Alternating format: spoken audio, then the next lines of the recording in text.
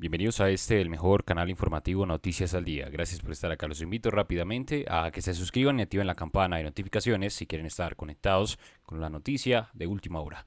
Nueva advertencia de Rusia a terceros países sobre dar aviones a Ucrania.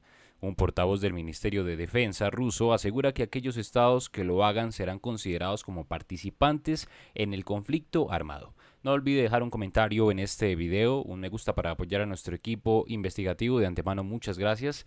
Estaremos pendientes, estaremos al tanto de sus argumentos frente a esta información. Vamos en viaje con la noticia. Uno de los portavoces del Ministerio de Defensa ruso ha lanzado una advertencia al resto de países en cuanto a sus actuaciones respecto al conflicto con Ucrania. El portavoz ha anunciado que el gobierno ruso considerará que aquellos que den aviones al país ucraniano para que se defiendan en la invasión entrarán a formar parte del conflicto.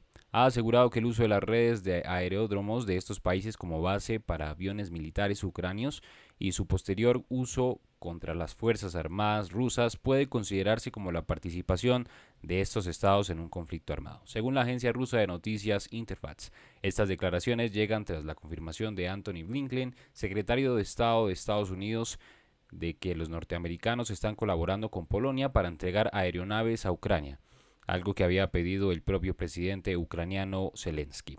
Estados Unidos contempla activamente el envío de aviones a Polonia. Sin embargo, el gobierno de Polonia ha asegurado este domingo que aún no ha tomado ninguna decisión respecto al envío, ni de los aviones ni tampoco de ayuda militar. Por tanto, las acusaciones de que han despegado aviones polacos de sus aeródromos para combatir en Ucrania son falsas. Sobre estas informaciones que están apareciendo en relación al ruso de aeródromos en Polonia, sobre el despegue de aviones de combate al territorio de Ucrania.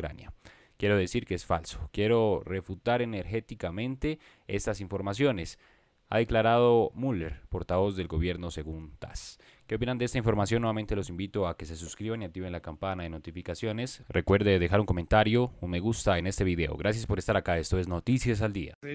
También están suprimidas. Más bien estas personas que están manifestándose es porque vía Telegram pudieron congregarse, pero no hay una presencia masiva y por lo tanto no hay nadie que conduzca el proceso de oposición a esta guerra al interior de Rusia y no esperemos por los próximos días, a menos que el ánimo podría cambiar, el humor de los rusos podría cambiar solamente si se configurara un cuadro. Y ese cuadro tendría que ver con el efecto de las sanciones económicas en el bolsillo de los rusos. Solamente así podría cambiarse el ánimo. Al día de hoy no tienen idea y la poca información que han recibido es que Ucrania representa una amenaza y como tal, por representar esa amenaza, Rusia se tuvo que defender y hacer para ellos un ataque preventivo. Mientras en Occidente vemos que esta es una invasión, Putin la presenta como un ataque preventivo para garantizar la seguridad de Rusia Soledad. Bien, eh, Darinka, Libardo, les quiero agradecer eh, una vez más por eh, irnos nutriendo con la información que ha ido surgiendo en las últimas horas, que sabemos que va cambiando de manera vertiginosa y a Libardo con todo el análisis que nos ayuda a poner en perspectiva la complejidad de este conflicto. Les agradezco que tengan una muy buena tarde y muchas gracias por habernos acompañado aquí en Mega Noticias. Buenas tardes. Muy buenas tardes. Que estén bien. Y vamos a seguir eh, profundizando en alguna de las eh, aristas de esta guerra. El presidente ucraniano Volodymyr Zelensky, que ya ha sobrevivido a tres intentos de asesinato desde el inicio de la invasión rusa. Y es que lo que dicen los analistas es que la muerte del mandatario sería clave para la victoria rusa al mando de Vladimir Putin.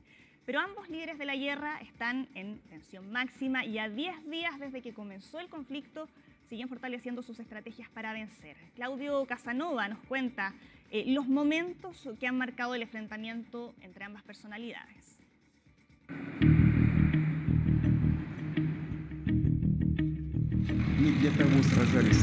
He tomado la decisión de una operación militar intente interferir con nosotros y más aún crear amenazas para nuestro país.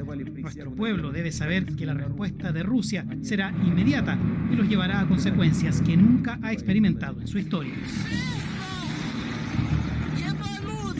Rusia ha llevado a cabo ataques contra nuestra infraestructura militar y contra nuestros guardias fronterizos y destacamentos fronterizos. Se escucharon explosiones en muchas ciudades de Ucrania. Estamos imponiendo la ley marcial en todas las regiones de nuestro estado. Diez días han pasado desde que Rusia le declaró la guerra a Ucrania.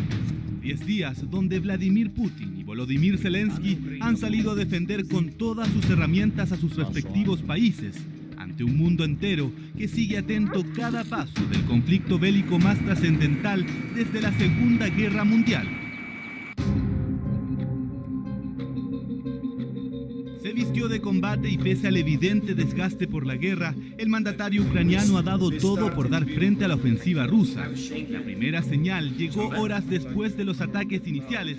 Con teléfono en mano y en plena capital del país, mandó el primer mensaje de aliento a su patria.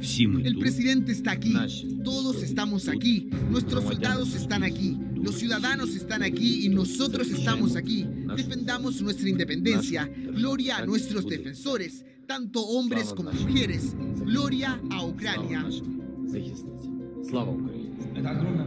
Zelensky se convirtió en la cara visible de la resistencia ucraniana. Desmintió cuantas veces fuese necesario aquellos rumores que daban alguna luz de la rendición de su país ante las tropas rusas y pasó de ser el presidente de Ucrania a comandante en jefe de funciones. Ya estamos entregando armas y las entregaremos para defender nuestro país a todos los que quieran y tengan la capacidad de defender nuestra soberanía. El destino de Ucrania depende de cada ciudadano. Resistir como sea ha sido la lógica de Zelensky durante los 10 días de guerra. Pero a la tensión del conflicto se suma también la incertidumbre constante ante su posible asesinato, al mandatario ucraniano sería uno de los principales objetivos de Vladimir Putin. Según el diario británico The Times, el líder ha sobrevivido al menos a tres intentos de asesinato a manos de supuestos mercenarios. Bueno, este magnicidio que se habría frustrado en al menos tres oportunidades eh, implicaría un símbolo muy grande de capitulación y de desmoralización eh, respecto a la resistencia eh, ucraniana a la invasión rusa. Y si la muerte de Zelensky pareciera ser un objetivo clave para Rusia, a esto se suma la persistencia de las tropas de Putin, que buscan, como sea, tomar más y más territorios ucranianos. Si en un principio partieron por tierra, con el pasar de los días la ofensiva también llegó a través del Mar Negro, con intenciones de invadir el puerto principal de Ucrania, Odessa. Hoy todas las unidades recibieron órdenes de desarrollar el avance desde todas las direcciones de acuerdo con los planes de la operación.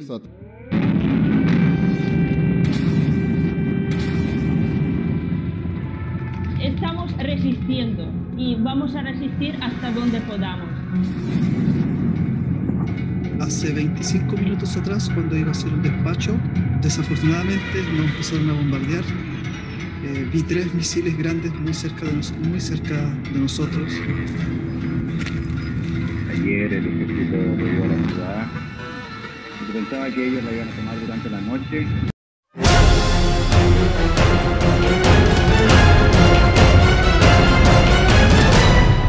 Si no te quieres perder de los últimos acontecimientos que pasan en el mundo, suscríbete y activa la campana.